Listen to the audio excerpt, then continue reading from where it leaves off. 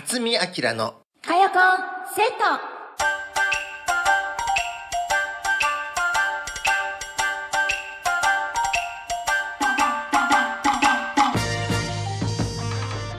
皆さんご機嫌いかがですか？辰巳明です。いよいよ平成30年最後の放送となりました。寒くなりましたしね、えー本格的に冬の到来です。最近天気予報を見てましたら岐阜県雨が降ることもあるでしょうなんか変な言い回しだなと思って。それじゃあ雨が降らないこともあるでしょうっていうのもありかなあとね明日の最高気温は15度ってねこれ天気予報士の方がですね噛んで。まあ僕も人のことは言えないんですけれど14度なのか15度なのかわからなくて噛むってやっぱり怖いなと思いました、えところで雪といえば何年か前ね、えー東京でのレコーディングの帰りに大雪になりまして、まあ、高速道路もね通行止め。で東京から厚木まで、まあ、僕はあの国道を走ったんですけど距離にするとね35キロくらいなのかな？なのにそこまで行くのに12時間ですよ。その後もあの仕方なくあの御殿場までね峠を越えて丸1日ノーマルタイヤで。もうめちゃくちゃな話です。でトラックの方もね渋滞の中はもうみんな眠ってしまってねで僕あの3回ぐらいねこの窓をコンコンって叩いて起こして回りました。まあよくね無事に帰ってきたな。改めて怖くなります、ね、皆さんも雪道には十分気をつけてくださいね。それでは辰巳明の火曜コン Z 最後までお付き合いください。まず私の辰巳明えー菩提樹の花から聞いてください。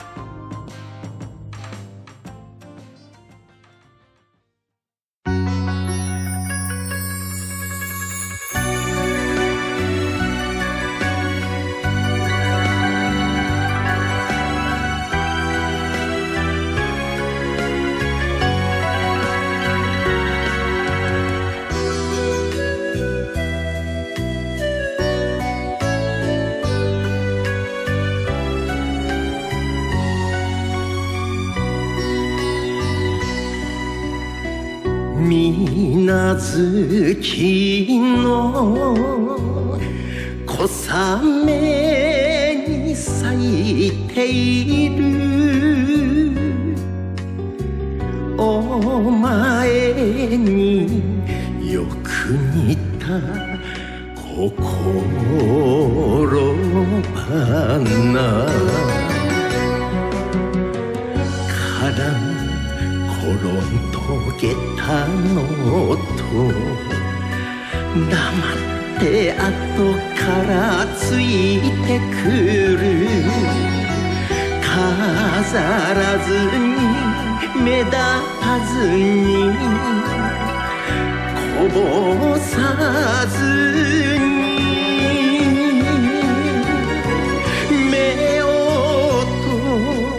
絆の菩提樹の花。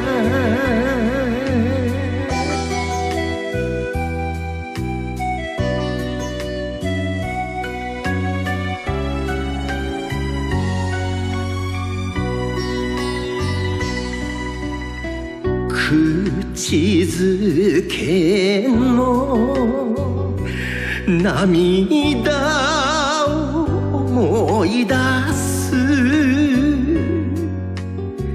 黄色い花びら初めての淡い夢でも一緒なら生きてゆけますどこまでも。お前の優しさに惚れてきた。お前は俺の菩提樹の花。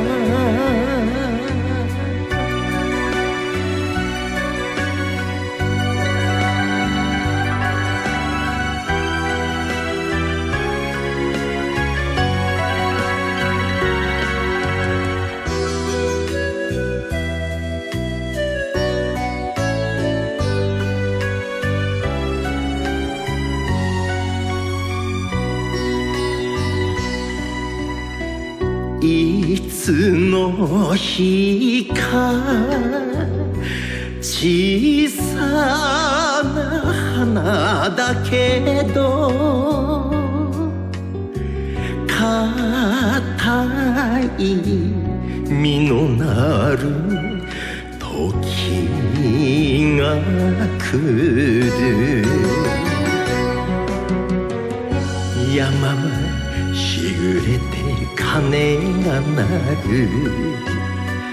二人の明日を祈るように雨上がり水たまり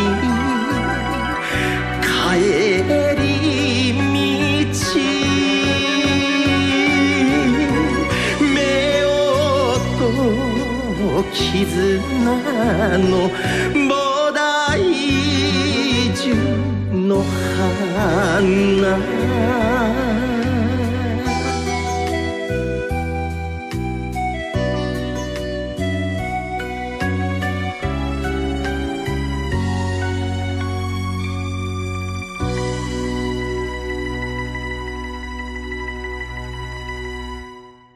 松浦恵作詞、辰巳明作曲、私、辰巳明で、菩提樹の花でした。皆さん、お正月三が日は、どこへお出かけでしょうか？初詣は、ね、どちらへ？甘酒やぜんざいをこういただくのもね、楽しみの一つですね。あとは、福袋を目当てにデパートとか、家電量販店の行列にこう、並ぶ方もあるでしょう。どこへ行ってももう混み合いますか？えー、そんなところでね、こう喧嘩とか争い事のないように心穏やかに過ごしていただきたいと願うばかりです。では次の歌に行きたいと思います。えー、お母さんへのね、愛がいっぱい詰まってる歌です。樋口美沙さん、林道の歌声。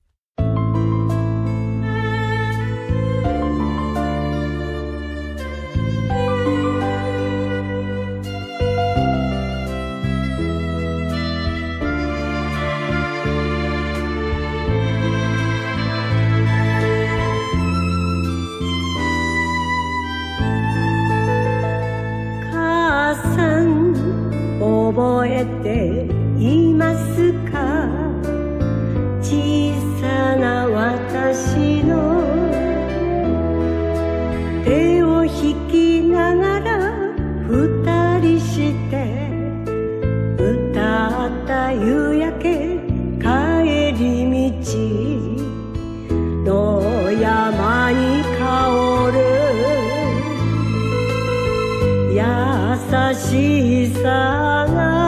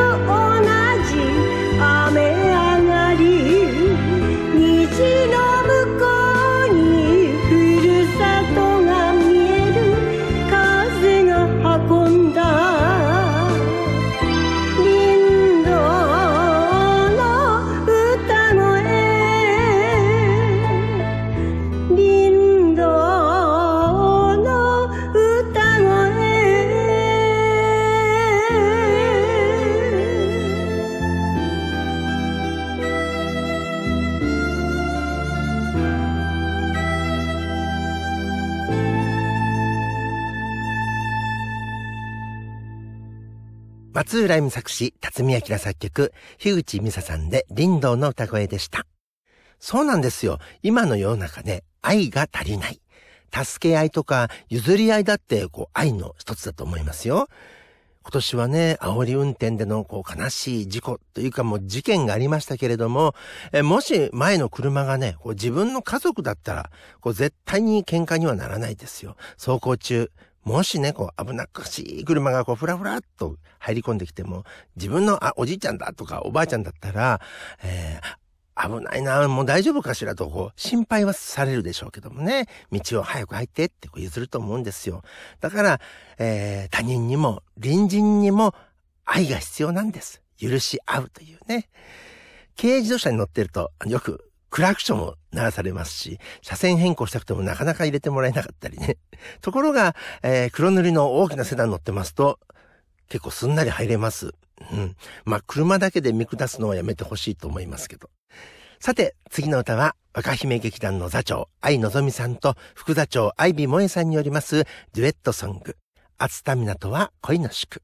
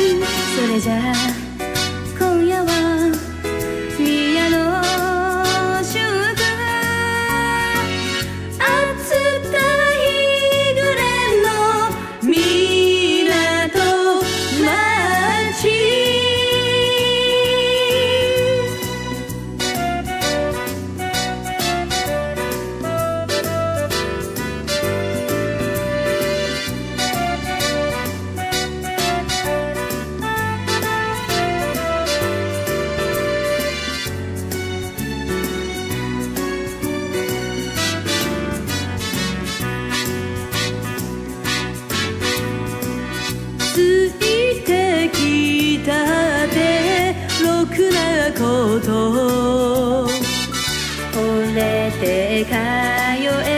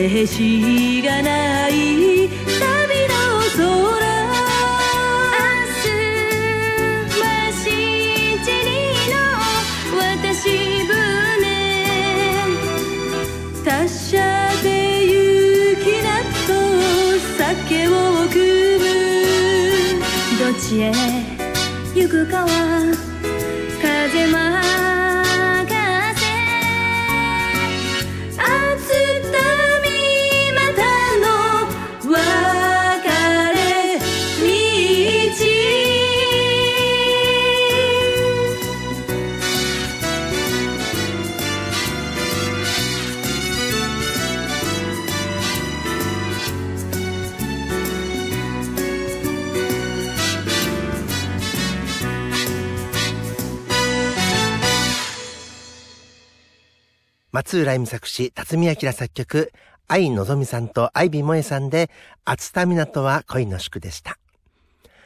熱田神宮は毎年200万人を超える方がね、初詣に訪れます。あまりの人ですからね、もう前に進むのも大変でしょ？あだから僕はあの、三が日は避けるようになりました。でもね、あの、あそこのきしめんを食べるのが楽しみでね、いい匂いにまた誘われるんですよ。昔はね、あの足元にこう鶏がいっぱいこう近寄ってきたりしてね、そんな時もありましたけど。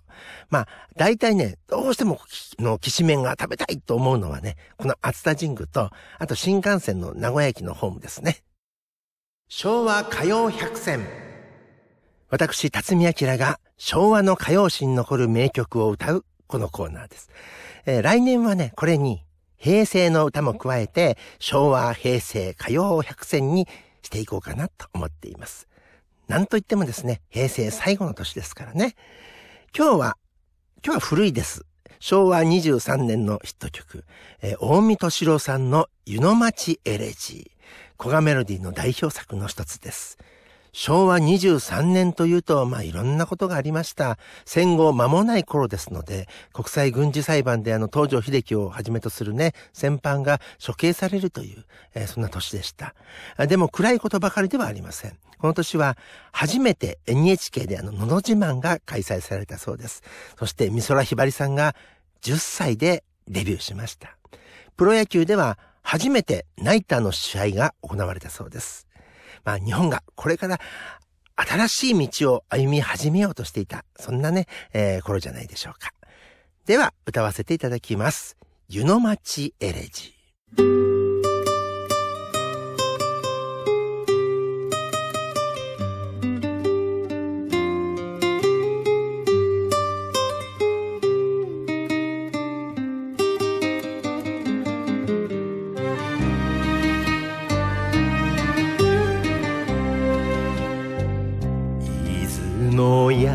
山山月淡く明かりにむせぶ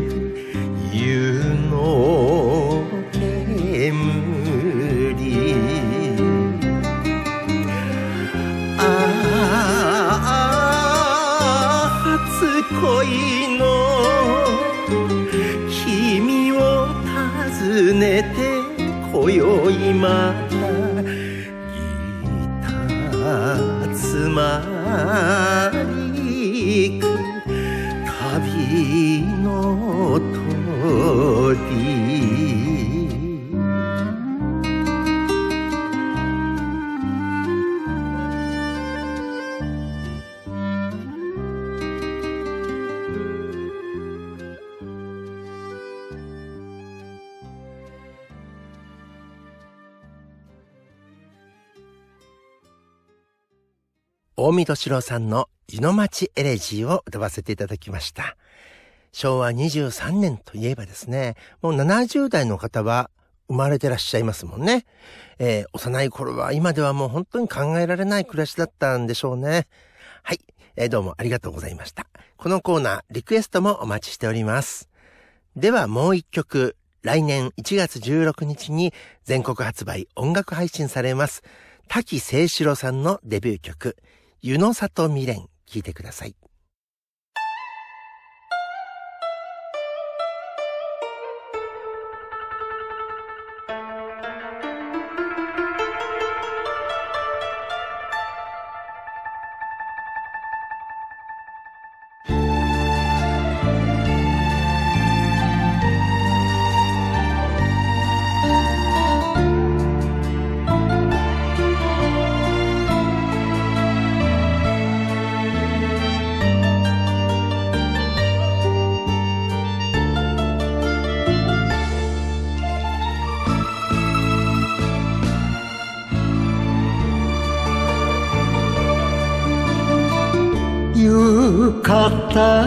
の裾をたく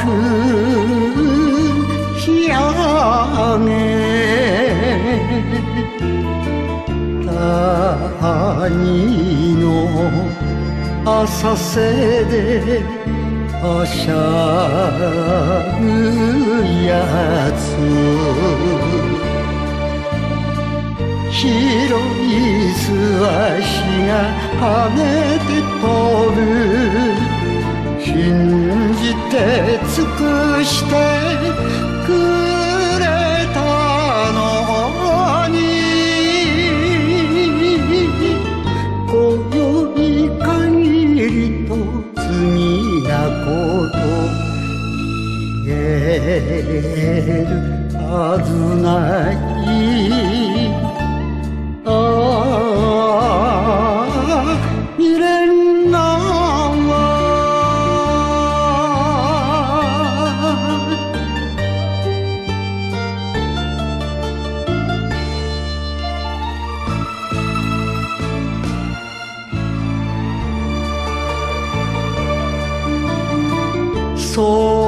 添えない中と切り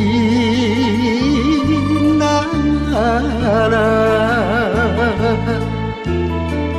玉のおせを待ちわりる。愛しいお前に会うたびに別れの思いが薄れゆく。責める世間の冷たさをすべない。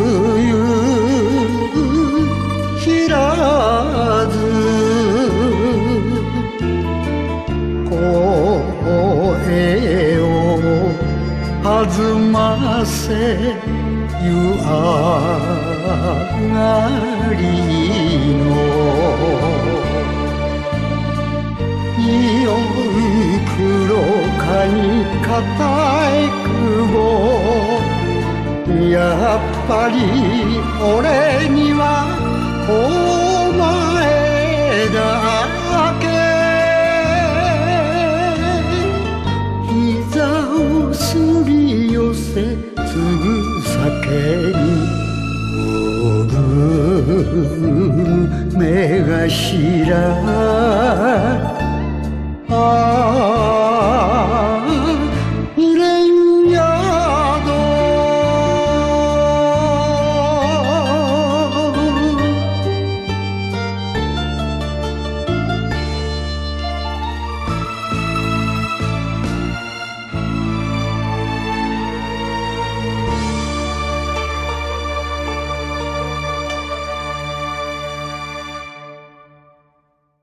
石川美穂作詞、辰巳明作曲、滝清志郎さんで、湯の里未練でした。発売になりましたら、また皆さん応援してください。さて、グレースバードレコードでは新人歌手を募集しています。全国発売、音楽配信、カラオケ配信、そして YouTube やこうしたラジオ番組でのプロモーション。さらに、来年からはですね、あの、BS テレビの番組でもプロモーションしてまいります。ぜひ一緒に頑張りましょう。お問い合わせは、グレイスバードレコード公式ホームページのお問い合わせ本までお気軽にどうぞ。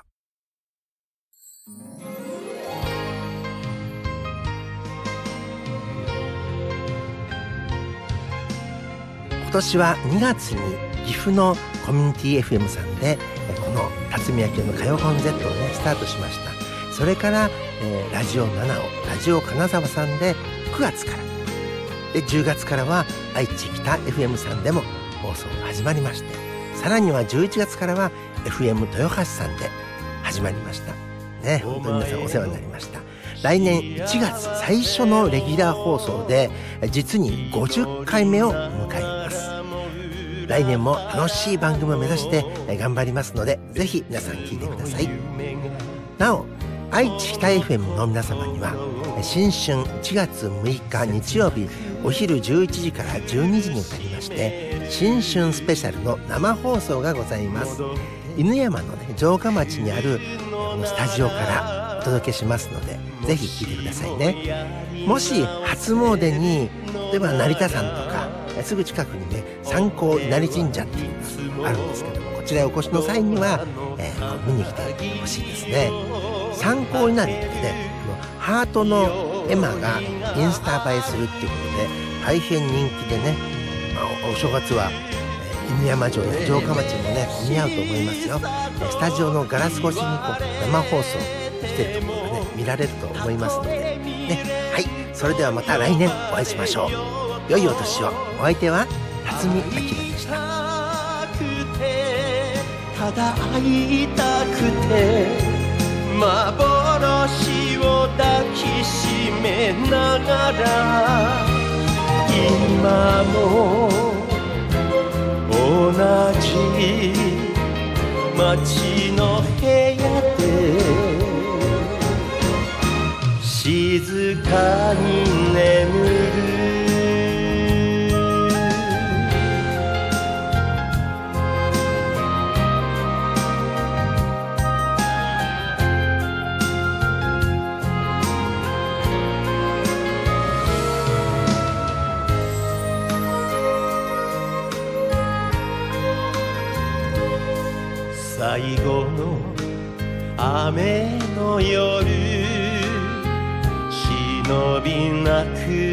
けのお前を愚か者の俺は一人。